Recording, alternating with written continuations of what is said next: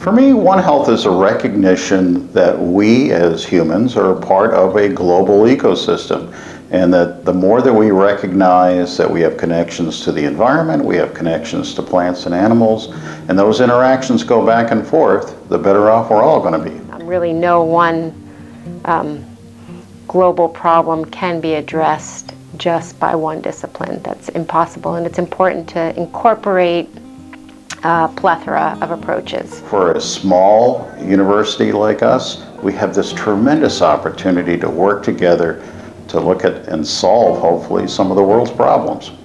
It's very easy to go someplace where a species is endangered and say, okay, we need to preserve this environment, but we need to know how that impacts people. So that brings in the humanities, it brings in sociology, it brings in psychology. How does it impact that local community, telling them they can no longer go into this area?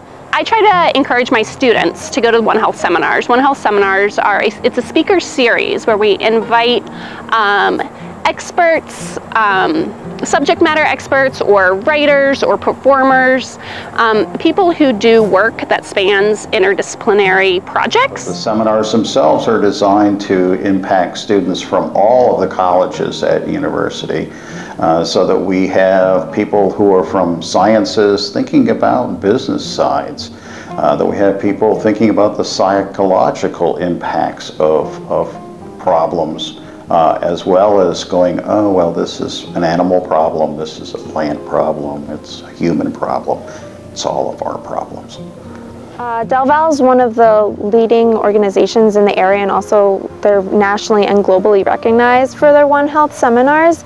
And something that I'm really excited about that we're going to be doing this year is One Health Week, so we'll be celebrating different One Health activities. So our students get exposed to professions that might be new to them and professions specifically that are multidisciplinary. Um, and so maybe they can be part of the solution in the future by choosing one of those careers.